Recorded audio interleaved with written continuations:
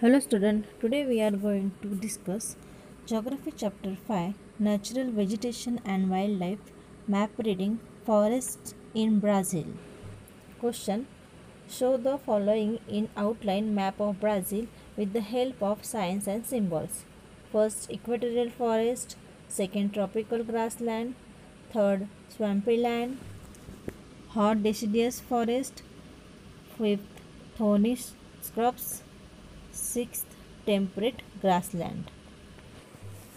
First question में क्या दिया है कि इक्वेटोरियल फॉरेस्ट, ओके तो इक्वेटोरियल फॉरेस्ट कहाँ है, हमको नंबर वाइज जाना है, जैसे फ़र्स्ट क्वेश्चन जो पूछा है तो फ़र्स्ट नंबर देना है जो इक्वेटोरियल फॉरेस्ट है, वहाँ, ठीक है? तो आप यहाँ देख सकते हो इक्वेटोरियल फॉरेस्ट कहाँ। ये जो एरिया है this is the equatorial forest ठीक है? और उसके बाद का सेकेंड क्वेश्चन कौन सा था? Tropical grassland so, tropical grassland, you can see here. Equatorial forest के साइड में ट्रॉपिकल ग्रासलैंड है। ठीक है? नेक्स्ट क्वेश्चन क्या था? Swampy lands okay so swampy land का जो एरिया है, वो देखो आप ट्रॉपिकल जो ग्रासलैंड है, उसके ही साइड में है। Next question hot deciduous forest hot deciduous forest जो है, वो कहाँ दिखाई देते हैं? जो कोस्टल एरिया है वो साइड में दिखाई देते हैं।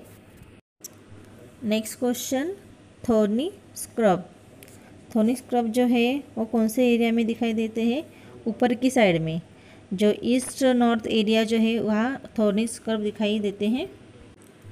यानी ट्रॉपिकल ग्रासलैंड और हॉट डेसिडियस फॉरेस्ट के बीच में जो है ऊपर के साइड में थोनी स्क्रब जो है, वहाँ उसका एरिया है। देन नेक्स्ट जो है टेम्परेट ग्रासलैंड तो टेम्परेट ग्रासलैंड जो है, आप देख सकते हैं साउथ की तरफ़ और डार्क कलर से दर्शाए गए हैं।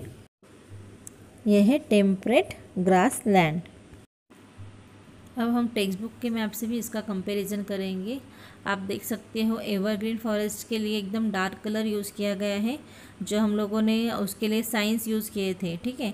प्लस साइन यूज़ किए थे उसके लिए। और जो फेंट कलर है, वो कौन सा है? तो ट्रॉपिकल ग्रासलैंड जो है, उससे लाइट कलर जो है, वो यूज़ किया गया है। और जो इक्वेटोरियल फॉरेस्ट एरिया है, वो कहाँ है? अमेजोन रिवर बेसिन के यहाँ, ठीक है? और जो ट्रॉपिकल ग्रासलैंड है, वो कहाँ है? सवाना उसकी साइड में आप देख सकते हो स्वैपी स्वैम्पी लैंड जो है, कहाँ है? उसी के साइड में सवाना रीजन के। And for that dark colour is used hot deciduous forest जो है, आपको मालूम है, जैसे कि जो सी कोस्टल एरिया है, वहाँ हॉट डिज़ीज़ फॉरेस्ट जो है, वो फैले हुए हैं। नेक्स्ट क्वेश्चन क्या था? थोर्नी स्क्रब का। तो थोर्नी स्क्रब कहाँ है? बराबर hot desert hot deciduous forest और जो ट्रॉपिकल ग्रासलैंड है, उसके बीच का जो हिस्सा है, ऊपर की साइड का, वो कौन से येलो कलर से दर्शाया गया है?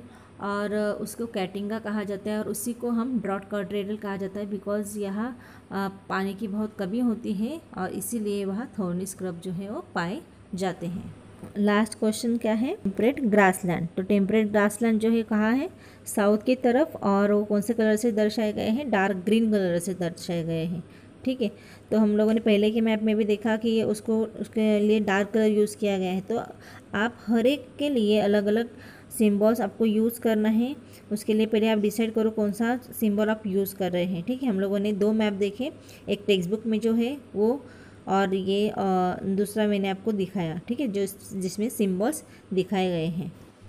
Then important thing is index okay index में आपको जो जो सिम्बॉल आपने जिस जिस फॉरेस्ट के लिए, जिस प्लेस के लिए दर्श लिए हैं, आपको वहाँ इंडेक्स में जो है आपको बताने हैं, ठीक है? इक्वेटर फॉरेस्ट के लिए कौन से? ट्रॉपिक ट्रॉपिकल ग्रासलैंड के लिए swampy land, then hot deciduous forest thorny scrub, then temperate grassland. तो ये अलग अलग जो प्लेसेस है, उसके लिए हमको अलग अलग सिम्बॉल्स जो हैं यूज़ करने हैं। Student if you want more information related to another map please you can put in comment box thank you for watching this video please like share and subscribe to my channel